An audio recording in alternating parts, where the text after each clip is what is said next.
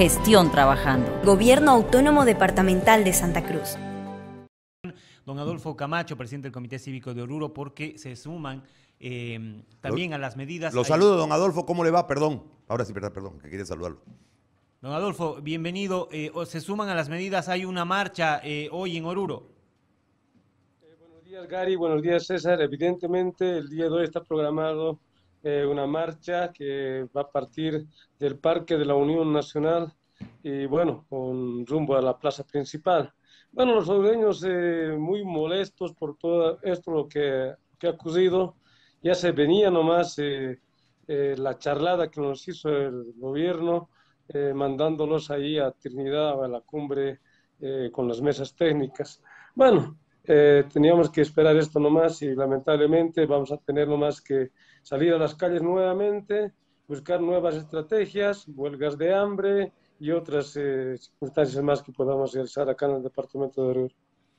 Don Adolfo, a ver, yo lo escuchaba en la marcha que hicieron la semana pasada y se sienten también excluidos en Oruro porque no se le da la importancia al departamento, porque no se atienden las demandas, las necesidades de este departamento y obviamente al retrasar todos estos datos que pueden salir en un censo, la cosa parece que no va a cambiar.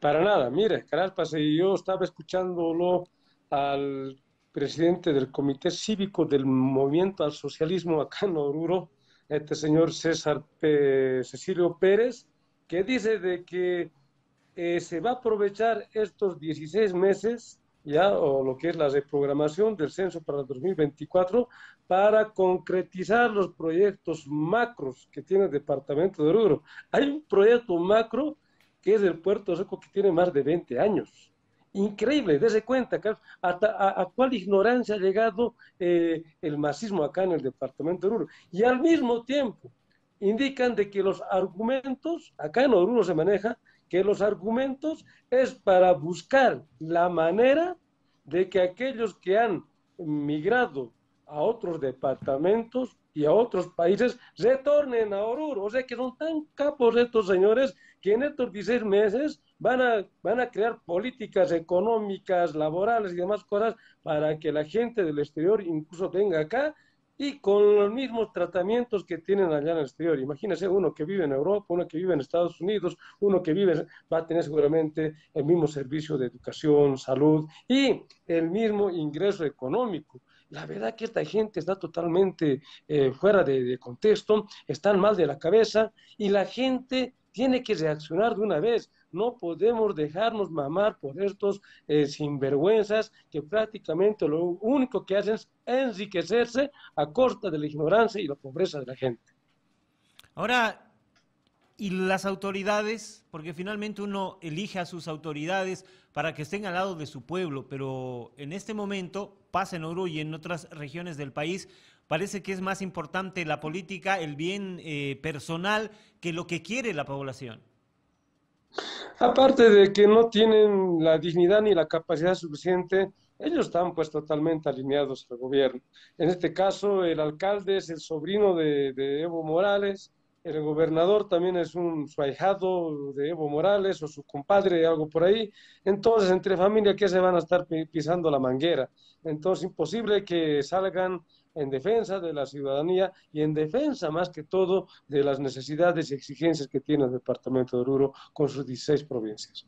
Ahora, en ese, para nosotros aquí, en yo, yo, lo miro así, este, Adolfo, todo. Es decir, aquí en Santa Cruz, el MAS es una minoría, es una minoría chiquitita. Lo que sí tiene es poderío desde el poder central en eh, algunos ámbitos políticos y también institucionales, ¿sí? Pero más por el peso del gobierno que por el peso del masismo en Santa Cruz. Entonces, para nosotros es sencillo, entre comillas, montar una movilización tan exitosa y tener 18 días de paro porque el MAS es minoría. Y ayer, por ejemplo, quisieron brincarle a los de, este, Buenavista y lo corrieron a palo. El otro día por, por Pailón, lo mismo. Se quieren alborotar en la rotonda, la gente es más, es más gente, pues. Entonces, no hay cómo, digamos. Si ellos buscan el desequilibrio cuando los pacos les meten gas a los ciudadanos, ahí se cambia el escenario como pasó en, en La Guardia. Pero en Oruro es distinto. Es decir, estar contra el gobierno en Oruro es complicadísimo. Por eso le hago la pregunta, Adolfo. Desde este marco, para nosotros la realidad nuestra es mucho más fácil, pues, ¿no? Somos aquí, aquí no gana el más, ni va a ganar. Pero en Oruro gana. Entonces, en ese sentido, hoy están defendiendo ustedes la razón de un censo 2023 contra el aparataje político que está queriendo ponerlo todo el 2024. Sin entrar a los análisis técnicos, ¿cuál es el pulso de la sociedad desde la necesidad del censo para que lo bien gobiernen al ciudadano, para que bien gobiernen, versus este, eh, esta victoria política casi permanente en Oruro de parte del movimiento al socialismo? ¿Cómo, ¿Cómo se hace para que la gente entienda que es ciudadano y que no es partidario? Esa es mi consulta. A ver, eh, Gary, en primera instancia, eh, la mayor población eh, en el departamento de Oruro se encuentra en la ciudad de Oruro. Ya. La mayor población. Entonces, acá el, el, MAS nunca ha tenido mayoría en la ciudad de Oruro, en el municipio de Oruro. Siempre hemos tenido alcaldes de la oposición, lamentablemente muy malos alcaldes, pero hemos tenido. Este, en esta última elección hemos perdido debido a que la oposición se ha fragmentado demasiado han habido como 13 partidos políticos detrás de un municipio. Entonces, el alcalde, sobrino de Evo Morales, el pedófilo, prácticamente ha ingresado que ni siquiera con un 30% de votación, aparte que también ha hecho su famoso fraude, como, usted, como a usted también, Gary, lo mamaron, igualito aquí lo han mamado a, a Marcelo Medina, quien tenía que ser el alcalde. Lamentablemente eso es. Pero nosotros, miren, en Oruro, los pocos que quedamos, los pocos que quedamos con esos eh, entre comillas, huevos que tenemos acá los obreños, no tenemos miedo. A mí en el 2019, Gary, eh, César, me quemaron la camioneta, por poco no me quemaron vivo en Caracollo, justamente el día que lo emboscaron a los eh, compañeros de Potosí y de Sucre que estaban movilizándose hacia la ciudad de La Paz.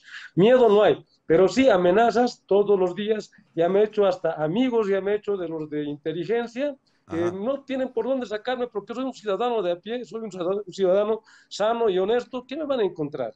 Yo en primer lugar no estoy pidiendo, como todos los bolivianos, no estamos pidiendo las denuncias de Catacora, no estamos desestabilizando, estamos pidiendo un censo que es obligación, obligación del, del INE.